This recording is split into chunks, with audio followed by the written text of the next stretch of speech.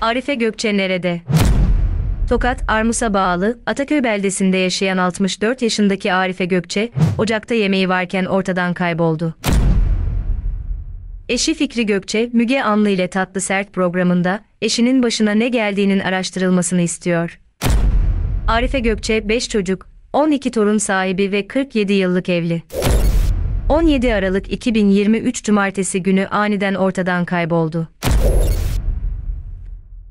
Eşi Fikri Gökçe'nin dediğine göre, köyde yaşayan, psikolojik rahatsızlıklar yaşayan bir kişinin, köydeki tüm kadınların ve erkeklerin telini bildiğini ve onlara cinsel içerikli mesajlar attığını belirtti. Eşinin kaybolduğu saatte eşi Arife Gökçe'ye de mesaj attı ve onu bir yere mi çağırdı da eşim aniden evden çıktı gitti bilemiyoruz diyerek Müge Anlı'dan yardım istiyor. Arife Gökçe evde ocakta yemek yaparken ve aynı zamanda da süt kaynattığı sırada terlikle aniden ortadan kaybolmasından sonra eşi endişelenerek yetkililere haber verdi. Köyde jandarma, AFAD sıkı arama çalışması başlattı. Kadavra arama köpekleriyle arama yapan yetkililer henüz herhangi bir ize rastlamadı.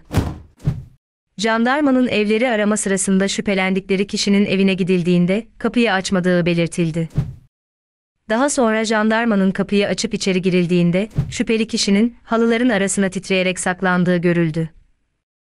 Büyük endişe yaşayan aile, Arife Gökçe'nin ocakta yemeği varken asla evden çıkmayacağını söylüyorlar. Ocakta yemeği olan birinin üzerinde sadece bir kazak ve terlikle evden çıkmasının tek sebebinin başına bir şey gelmiş olabilir diyerek büyük korku yaşıyorlar.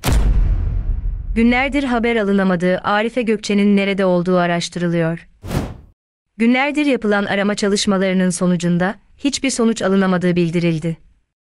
Arife Gökçe'nin bulunma ümidiyle bekleyişlerini sürdüren aile, Arife Gökçe'nin kayboluşunda cinsel içerikli mesajlar atan kişinin parmağının olduğu düşünülüyor. Üzerine ne bir mont, ne bir yelek almayan Arife Gökçe'nin telefonu da pencerenin yanında olduğu söylendi. Evini bu şekilde terk etmeyeceğini söyleyen aile, başına kötü bir işin geldiğini düşünüyorlar. Arife Gökçe'nin kaybolduğu gün, evin olduğu mahallede şüphelendikleri kişinin üç kez görüldüğü söyleniyor. Komşular, şüphelenilen kişiye nereden geliyorsun diye sorduklarında, dağdan odun kesmekten geliyorum diye söylemesi ve üzerinin ise tertemiz olması onun yalan söylediği kanısına varmalarına sebep oluyor.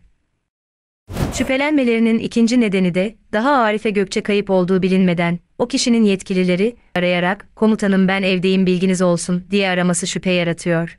Şüphe duyulmasının üçüncü nedeni ise jandarmanın evini arama sırasında kapıyı açmadığı ve jandarmanın kapıyı açarak içeri girdiğinde onu halıların arasına saklanıp titrerken bulmaları olduğu söyleniyor.